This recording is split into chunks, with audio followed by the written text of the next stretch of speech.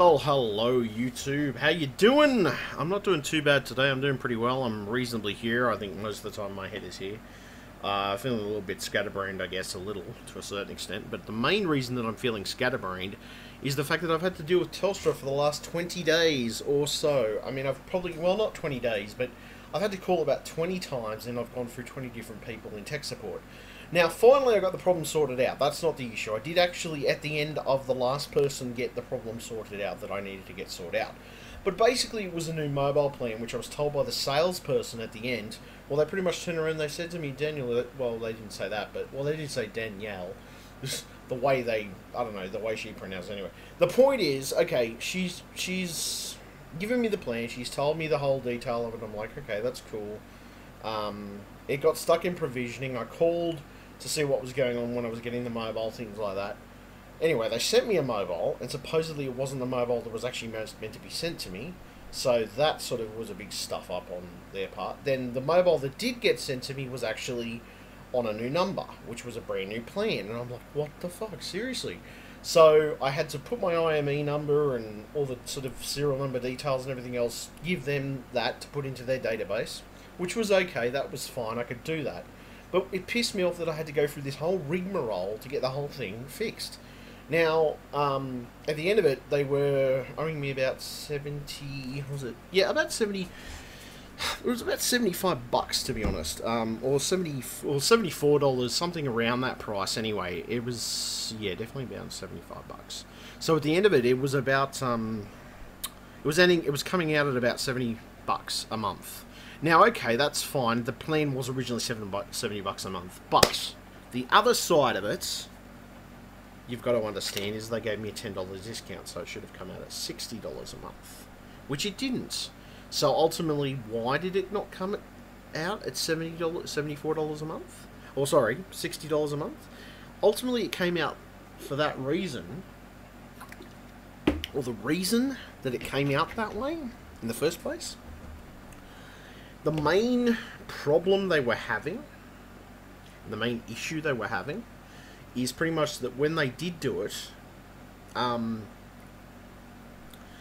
now, supposedly it, was, it wasn't a recontract. That's the reason the salesperson had probably, apparently the salesperson had put it, hadn't put it through as a recontract. And I'm like, okay, what the fuck? Seriously, what the fuck's going on here? I, I said it was a recontract and I wanted the same number because they were giving me a new number. I'm like, no, I don't need that.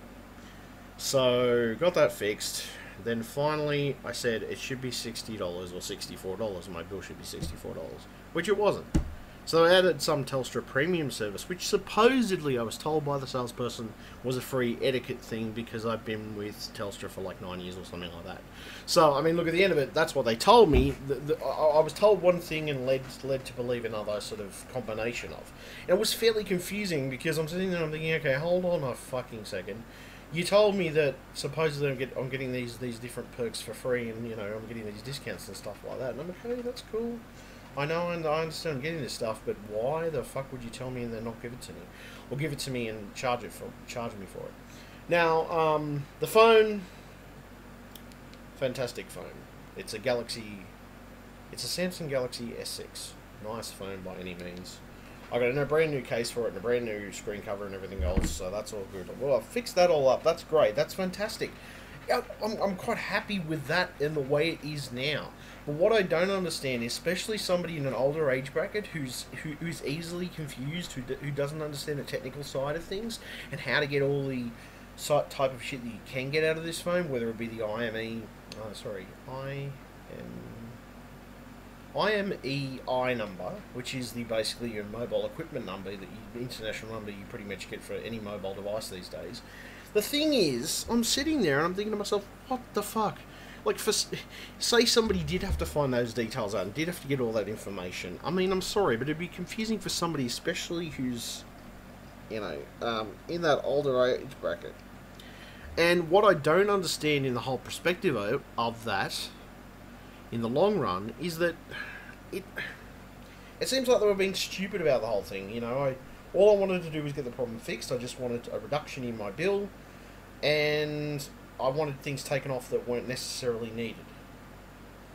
And at the end of it, I had to sit there and argue, sort of berate and say, well, you know, I'll, go to the ombudsman or something like that, and just you know threaten legal action or whatever. Combination of that stuff, just to get an actual reaction out of them. Now, normally, I mean, I'm I'm one for defending people, not defending, but defending the common man, defending people who have to get on onto Telstra all the time for different things. And obviously, Telstra has a lot of issues when it comes to customer service and customer communication. Uh, even their customer service departments do not communicate correctly with each other. I did give them a fair enough review at the end of it. They did actually end up fixing it, but, but it shouldn't take 20 calls and 20 different people to fix my fucking problem in the first place. I'm sorry, but that's a pretty unacceptable level of service in my mind. Um, I think personally they need to work on that. That's something that needs to be worked on and needs to be fixed. It needs to be put into perspective for the whole entire company. Because, I mean, at the end of it, you know, um, yeah, sorry, bit of a headache at the moment. But I think in the whole perspective of the entire company as a, as a whole, the, the, the different departments, whether it be the sale departments, don't communicate with each other. They don't communicate correctly with each other. Now, I'm sorry, but at the end of it, you you you should communicate with your different departments. You shouldn't have to have this communication issue where there's a big communication breakdown, pretty much, and the and the entire thing just turns to shit when anybody tries to fix it. Now, look, I'm not accusing the individual salespeople. I'm accusing the system that they're working with. I'm accusing the system that they're working with to be have have its faults and its obvious repair needs. Now, it's not perfect, I admit, but you know, um, no system is truly perfect. But I mean, their system could be a lot better in the sense of the way it, it efficiently brings out communication. Um, I tried to get back to the original salesperson I was talking to. I couldn't even do that. I managed to get an email from them weeks later when I originally from the original inquiry I made, which I couldn't fucking understand to be honest because that didn't make any sense. Uh, it didn't. I'm serious. It didn't make any sense. Uh, why did it not make any sense? I'll tell you why it didn't. The reason it didn't make sense to me is at the end of it, I should have been able to get straight onto the salesperson in question. I should have been able to ultimately uh, have a better communication level with the staff now, yes, they had reviews. You know, you could review the individual people you were talking to and stuff like that. That's cool. Okay, no argument there. But that's beside the point. That wasn't all the whole entirety of it. All right. The truth of the situation is, it was hard to get back to the original person you talked to, unless you had a specific name. But even if you had a, even if you had a name, it wasn't. It was overly difficult too. Um, which Look, I'm sorry. I, I mean, I hate to say it, but you know. Sorry, I just, I just, I, I feel like a beer. Um, I think it shouldn't be that hard to get back and communicate with somebody. To be able to have that level of communication where it's like, oh, okay, can you understand what the hell I'm talking about? Can you understand the words that come out my mouth, bitch? You know what I mean? But, like, I mean, I'm sorry. It's, it, between departments in a business, you should be able to have clear and present communication. That should always be immediate. There should never be a situation where there's a there's a lack of communication because it, it just it slows the business down completely and slows uh, productivity completely down too. Now, oh. Sorry, I do apologise. My neck is a bit on the sore side. I probably. Uh, oh, there we go. That's better. Bit of a crack there, but look, I'm far from perfect, but I know my level of communication is much more efficient than what this company is currently doing. Look, I don't know. Look, just my personal experience. I've in the nine years though that I've been with Telstra, because I've never actually used the support system in the entire in that entire time. I've never had a problem because I've never had to call them for anything. Because most of the time I've had pretty reliable signal and everything else. Like their signal and their hardware obviously works very well. No, no gripes there at all. I'll be honest. Their their hardware and their signals work fantastic. Um, equipment so far, I'm going to say, is not that bad. It seems to be actually quite functional. Now, is that contrary to everything that you, we know about it or know about Telstra. Yeah, I guess, except the only thing that I don't agree with is ADSL. ADSL, ADSL 2 is absolutely shocking. Um, the abysmal conditions that they leave the lines in are absolutely di- bleh, disgusting. No, just no words to really express how disgusting they are. Um, at the end of it, the truth of the situation is that these that the company needs to learn that you know I mean especially when they're doing line maintenance. Anyway, I could go into a whole rant, but my point is this was my experience with the nightmare part of it, which was you know um, dealing with pretty much dealing with Telstra mobile side of it. Pretty much the mobile side of it, any contract stuff and places. I mean, sales agents. I mean, look, I'm, I'm not going to accuse sales agents of things that they they may have said on my. I mean, look at the end of it. They said what they said, but you know, it. They said certain things. Now, certain promises were made. Certain promises weren't given back. So, I mean, at the end of it, you know, well, whatever. I'm not going to worry about it too much. I'm just going to point out that there was a bit of a nightmare to get the whole thing sorted out, and it was a big breaking issue and a big frustration for me to get the entire thing together. Now, this was just in a space of two weeks. I think it was like two, or, maybe two or three weeks. Yeah, about two or three weeks. Maybe. It was about two or three weeks. Yeah, it was about two or three weeks. So I mean, the truth of the situation is, and the truth of it all is that in that, those two weeks it took longer to sort things out.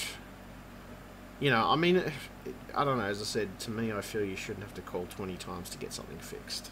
And, you know, you shouldn't have to do that.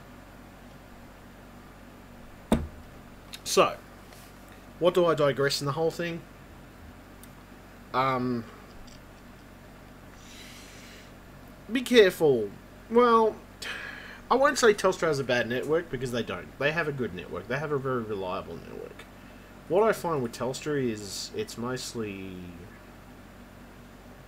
dealing with the departmentalization of each individual part of it. You know what I mean? Because the whatever's happening is between the departments because it seems that between these different departments there's not much communication going on. So you know it's all pretty much in the shitter at that point. So I'm guessing it's just the way that they do.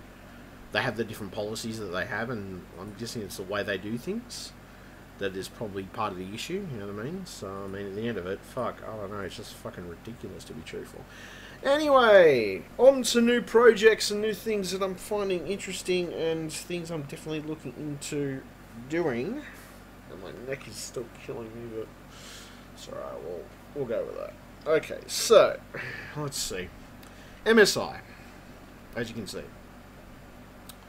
This is a GeForce. Uh, now, this new motherboard which I picked up, which is an MSI AM2 AM2 Plus motherboard, which I'm going to be using for a project in, the future, which is going to involve me building a computer and ultimately doing one of my big builds and my recondition builds where I just build the machine and put it out there.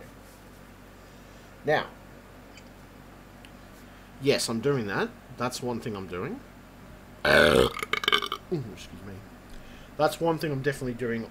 Is on my agenda so far. Now, aside from that, um, I've also got some other stuff coming as well. I've got some, a couple of Ethernet over power adapters, which I've got two here already, but the problem is they're Netcom and they do have a bit of a fidgety thing going on. So I'm going to see if I can still set the router up in my back room or in my, you know, my back room, in my, um, see if I can set the router up in the kitchen, pretty much. Which was where it initially was, and it was out to the back room, well, pretty much where my workbench is. So, at this point in time, I'm, th I'm thinking to myself, fuck it, you know, I, I need to get this stuff sorted. So, uh, I bought those, only twenty one ninety nine, which wasn't too bad. Motherboard wasn't too bad, it was $28 and $11 postage, so I'm, I'm, I'm, I'm not going too bad with that. Uh, see what the happens with the seller anyway. They're, they've just waiting for them to, uh, at this point, send me the motherboard. Once I get the motherboard, I'm going to be putting some RAM into it. I'm going to be putting a hard drive, match it up with it. I've got a spare case out there, which was actually an old case that I used to have for um, my computer, which I'm going to be using as a build case. It's a really big case. I mean, I, I, I wasn't going to use it, but I thought, fuck it, you know. it's going to save me money, money in the long run if I don't have to buy a new case. So, um, aside from that, what else have I been doing? Um, I've been, I mean, I've been doing a combination of different stuff the last few weeks.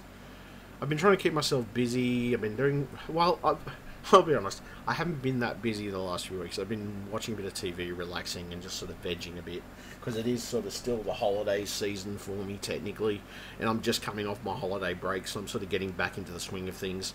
Hopefully, business will pick up this week, which is uh, what's this week? This week is um, the 19th of January. So uh, hopefully, I should get some more business this week. I'm going to see if I can go back to the tech shed, maybe, maybe, and give them a bit of a hand, and you know, generally just help them out. That would be my preference. Uh, what else do I feel like doing? Um, well, I'm definitely doing that project. There's a couple other projects I was interested in doing, but I just thought, fuck it, you know, I'll just go with whatever's go with the flow, basically. Uh, at this point in time, I'm just I'm, I'm trying to find little projects to fill my time in, but it's also like I'm watching a couple of shows and just relaxing as well. I'm also trying to get into my IT stuff a bit. I mean, um, what else did I end up doing? I, I've been bucking up my advertisements and everything else on Gumtree, which has been great. That's been beautiful so far. It's been working pretty well. Uh, aside from Gumtree, what else? Um, I've been doing I've been doing Gumtree advertisements. I did a few on my Facebook page. I haven't really been doing much with YouTube. I have stopped you I stopped you uh, I stopped YouTube production over the holidays. Uh, just to sort of give myself a bit of a break, take it slow, you know, just relax pretty much, which was my ultimate plan really. So I'm going to get back into the year and just pull myself forward and push myself forward and get into everything and just, you know, hopefully um, that way I can find my way through things and sort of clear my head of it. In the meantime, I'm happy that everybody's. Well, I hope I'm happy, and I hope everybody's having a good start to the new year. And I hope you're all feeling productive because I had a pretty productive day today. Um, helped my dad out. Uh, did a, helped him out with a few eBay bits and pieces, and you know, I'm feeling pretty good about that. I've got to do eBay myself personally, um, which eBay sort of I'm stuck in transit at the moment, so I'm, I'm trying to work out whether I'm going to re-enlist things or not because of uh, just the fact that uh, eBay's transit. Yeah, so I'm sort of I'm sort of stuck in limbo with it because I want to I want to put some more listings on, but I just don't want to cost myself too much in relisting fees because there is actually some relisting fees for some of the stuff, and it was actually free before I think on the days that I picked specifically. So yeah. We'll see how we go. It doesn't really matter. So far, I'm doing pretty damn well, people, and I'm feeling pretty damn happy, to be truthful. I mean, I'm not... I, I could be doing better. I could be doing better in the sense I could be, you know, have more jobs to do, have more work to do. Because, I, truthfully, I'm probably a bit bored. Um, I just like being vegging out watching shows mostly, so, you know, that just, uh, I do that sometimes when I'm bored. Now, the truth is I'm a bit bored, and I've, you know, uh, yeah, and when I get bored, I just sort of go all over the place anyway. But anyway, aside from that, things I did pick up. I nose trim because I need it for my nose hairs because I have a really hairy fucking nose. um, what else? Oh, back. It's killing me, just like no tomorrow. So, my phone, as you can see, looking good. Uh, so what we got? New phone, new one of these, new motherboard for new project, and some power over Ethernet adapters, pretty much. Which is looking good so far. I'm pretty happy. Anyway, I think I'll leave it there. Thank you very much, YouTube. Um, hope you enjoy my videos as per usual. Stay tuned. I've got more coming up, obviously, through the year. Or, you know, as, as we get more into the year and see exactly what direction I'm going to go with it.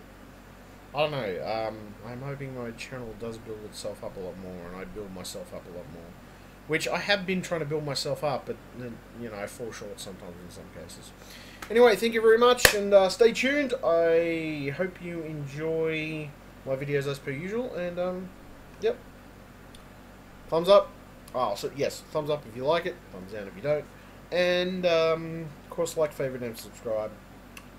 You can also follow me on different services. You can also subscribe to me on. Uh, you can also contribute to my Patreon campaign, my Patreon campaign, my PayPal, uh, my gold mine thing, which was, was GTA, G2A or something like that. So anyway, that, that's all around there anyway. Okay, so stay tuned. I've got tons more coming up. Oh, so I do apologise. I'm feeling a bit ugh, at the moment. So I'm going to go and relax for a while clear my head for a bit, and then I'll get back to some more YouTube production. Alright, thank you very much, and, uh, well, as per usual, stay tuned.